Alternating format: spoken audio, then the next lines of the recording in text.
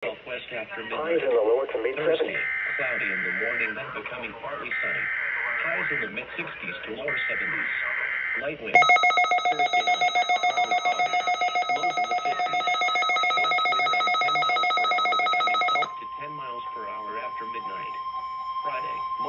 This is a test of the emergency alert system and. NOAA Weather Radio's warning alarm. 60s to lower 70s. During potentially hazardous weather situations, the National Weather Service transmits a signal that automatically activates specially built receivers to warn of the impending hazard. Tests of the receivers are normally conducted by the National Weather Service every Wednesday near 12 noon. When there is a threat of or existing severe weather in the area on Wednesday, the test is postponed until the next day without a severe weather threat. The following tones will conclude this test.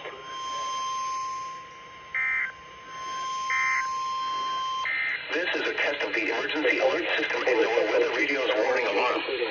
During potentially hazardous weather situations, the National Weather Service transmits a signal that automatically activates specially built receivers to warn of the impending hazard.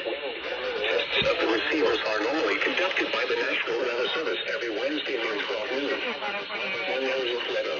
Existing severe weather in the area on Wednesday, the test is postponed until the next day without a severe weather threat.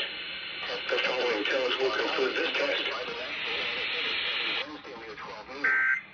When there is a threat of or existing severe weather in the area on Wednesday, the test is postponed until the next day without a severe weather threat. Radio station The following tones will conclude this test. serving the greater Puget Sound area and broadcasting in the host name of Gabriel S. McMillan